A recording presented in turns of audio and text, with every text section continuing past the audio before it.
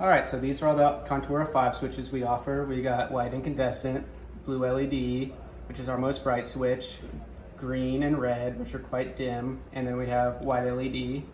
We also have our Contura 2s, which only have dependent lights.